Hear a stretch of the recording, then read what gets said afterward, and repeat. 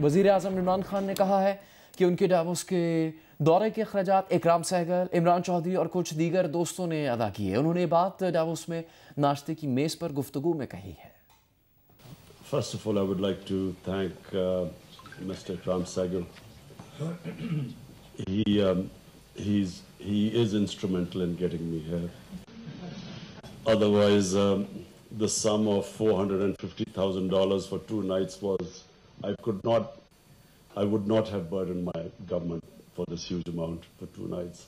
So Ikram Sehgal got together and with Imran Chaudhry, my uh, other friend, and so they sponsored it. So it's, it's the cheapest any Pakistani prime minister has ever